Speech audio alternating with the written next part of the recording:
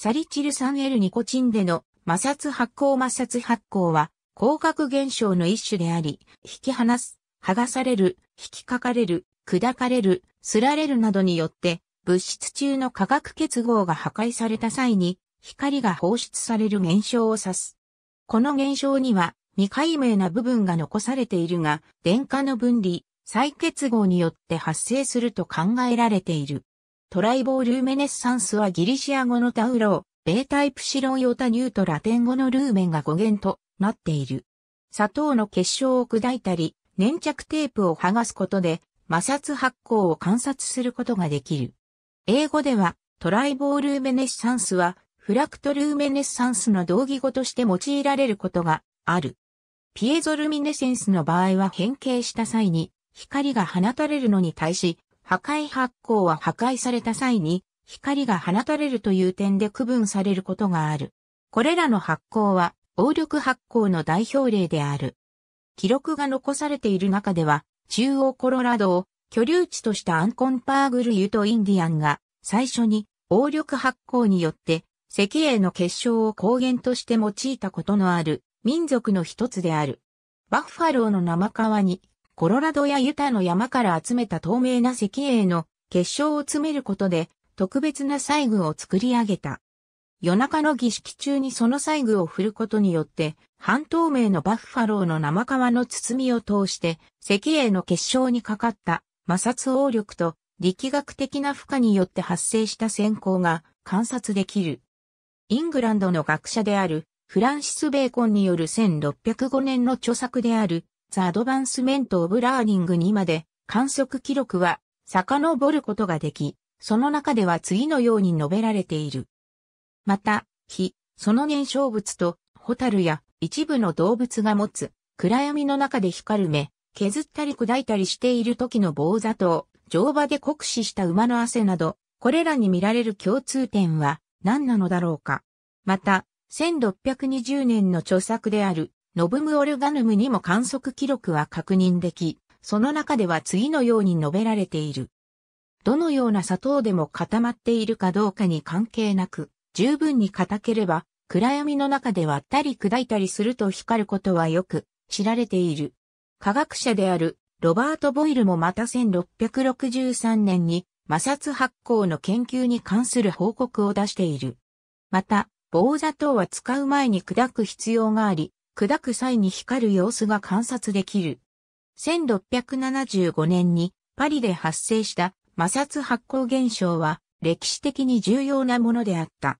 天文学者であるジャンピカールは気圧計を運んでいる際に暗闇の中で気圧計が光っていることに気がついた。その気圧計内のガラス管内には、水銀が完全には中を満たさない程度に入っていた。ガラス管を水銀が滑り落ちるたびに、上部の何もない空間が光った。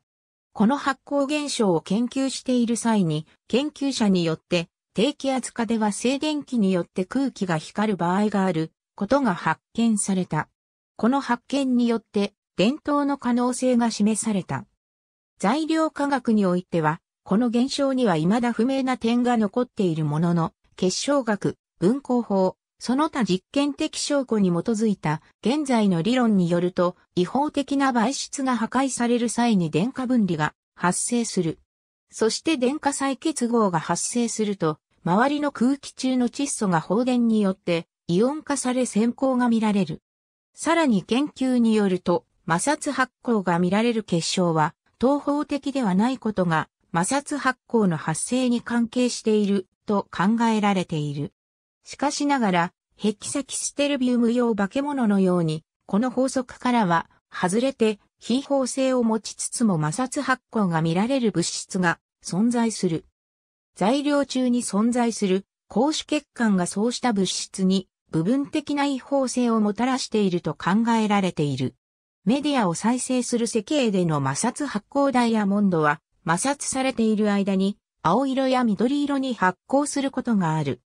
石英を用いてダイヤモンドを研磨していると、この現象が見られることがある。摩擦発光の性質を持つ鉱物としては他にも石英などがあり、擦り合わせることで発光させられる。一般的な間圧接儀テープの場合は、巻いてあるテープからテープの端を引っ張って剥がすと線状に光って見える。巻いてあるテープを真空中で剥がすと X 線が発生することが1953年にソビエトの科学者によって初めて観察された。2008年には X 線が発生する原理についての研究がより進んだ。また、金属でもこれに似た X 線放射が観察されている。それ以外にも砂糖の結晶を砕くことによって小さな電状が形成され、正の電荷と負の電荷に分かれてから再結合しようとする際にスパークが発生する。特にライフセーバーズウィンとオーグリーンというキャンディは蛍光物質である冬、緑油が紫外線を青色光に変換するため、この現象を観察しやすい。また摩擦発光は食べ物の咀嚼時や脊椎関節が擦れた時、性行為中、また血液の循環中に骨軟組織を覆う表皮に変形や摩擦帯電が発生することによって生物現象としても観察される。破壊発光は結晶が破壊されることによって起こる発光であるが、しかしながら破壊は摩擦を受けて発生することが多い。英語ではフラクトルーメネッサンスはトライボールーメネッサンスの同義語として用いられることがある。結晶の原子構造及び分子構造によっては、結晶が破壊される際に片側は正の電荷、反対側は負の電荷というように電荷分離が発生することがある。破壊発光においても摩擦発光と同じように十分な電位が電荷分離によって生じた場合、海面に挟まれた気体を通って放電が発生することがある。どの程度の電位でこの現象が発生するかは、容器内の気体の誘電体特性による。純水から作られた氷から破壊発光は観察されている。金属や岩石の組成変形及び亀裂電波中の電磁放射について研究がされてきた。合金からの電磁放射についても分析、検証が行われている。転移によってこうした電磁放射が発生する原理はマラッキによって示された。また、金属コーティングされた合金とされていない合金において組成変形や亀裂電波が発生した際に別の副次的な電磁放射現象が見られたことがスリラクシミートミスラによって報告されている。理論何種類かの合金では微小な組成変形や亀裂電波に伴って電磁放射が発生すること、また強磁性を持つ金属では、ネッキングの発生に伴って磁場が一時的に発生していることが、1970年代からミスラによって報告されており、幾人かの研究者によって検証、調査が行われている。1980年には、トゥディックとバルーヤフが高電子増倍管を用いることによって、鉄、アルミニウムの引っ張り破断に伴う電磁放射線を 1014Hz の周波数の範囲内で測定することに成功している。また、金属コーティングされた合金とされていない合金において別の副次的な電磁放射現象が見られたことが2005年にスリラクシミートミスラによって報告されている。固体物質が組成変形や破断を起こすような大きな振幅負荷を受けると熱放射や放射音、イオン放射、エキソ電子放射などが発生する。X 線の発生適切な真空下でテープを剥がすことによって人間の指のレントゲンを取るのに十分なほどの X 線が発生する。変形によって誘起される電磁放射変形に関する研究が新たな素材の開発には必要である。金属の変形具合は温度、与えられる負荷の種類、歪み速度、酸化、腐食次第である。変形により誘起される電磁放射現象はイオン結晶、岩石、金属の3つに分けることができる。材質の特性は向きによって異なるため、電磁放射線が放出されるかは各結晶粒子の方位次第である。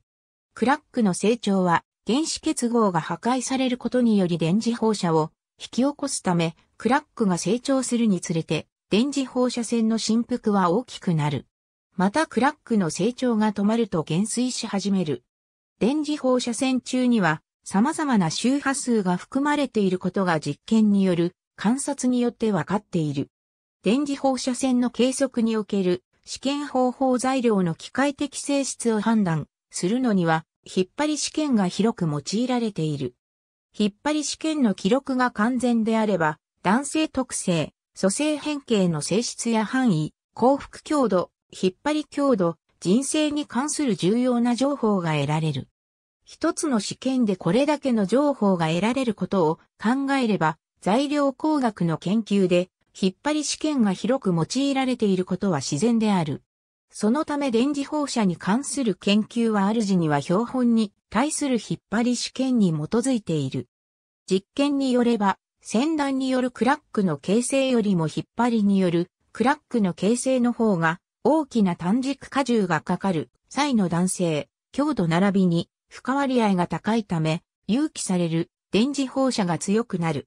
ポアソン比は三軸圧縮試験中に電磁放射の特性を識別するための重要な指標になる。ポアソン比が小さいほど横歪みが起きにくい材質になり、そのため破断しやすくなる。動的条件下で部材を安全に取り扱うためには、組成変形の原理はとても重要である。利用、応用このような電磁放射は、センサ材料、知的材料の開発に利用できる。また、この技術は、粉末や金技術に組み入れることもできる。電磁放射は大きな変形に伴って発生する。最小限の力学的な刺激である成分の電磁放射反応が一番強くなることが分かれば、主原料に合わせることによって知的材料の開発に新たな流れを作ることができる。また、変形によって有機される電磁放射は破損の検知、予防のための強力な手段として用いることができる。オール VE によって実験室診断による電磁放射を利用した全血やリンパ球の測定装置が発明された。ありがとうございます。